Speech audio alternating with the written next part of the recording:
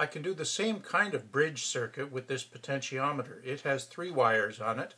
The two outside wires go across a constant resistance and the third wire in the middle there is the wiper that goes and moves back and forth across that resistance to vary the resistance between each of the two pairs of pins. So let's plug that in. There's three wires plugged in there. And I'll connect this side of that potentiometer to ground. I'll connect the other side of the main resistance of that potentiometer to plus 5 volts. And now I'll put my measurement in the middle. And by adjusting that potentiometer from one end, I'll have 5 volts. Keep on turning the knob. I get an adjustable voltage source. This is a voltage divider with a potentiometer in the middle, which allows us to vary the voltage on that intermediate pin. And we can use that as an adjustment for our circuits. Finally, in the instance where we have a potentiometer, we've got one big resistor and we've got a knob over here that allows us to move this slider back and forth on that resistor. So there's our potentiometer.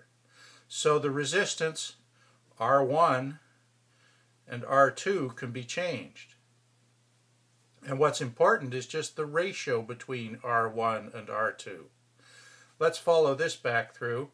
We got the voltage across this lower resistance, this R2 resistance, equal to IR. And we got the current I equal to V over the total resistance. So,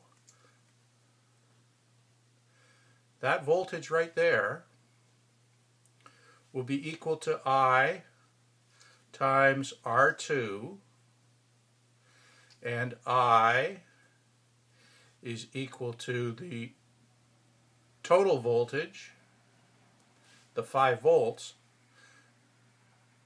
divided by R1 plus R2. So the measured voltage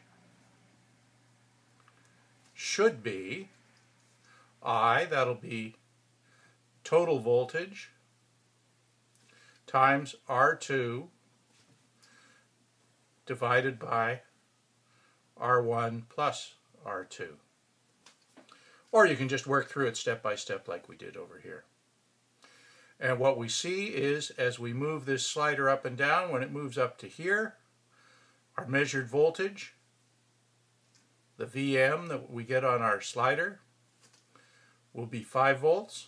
When we move down here, we'll get down to 0 volts.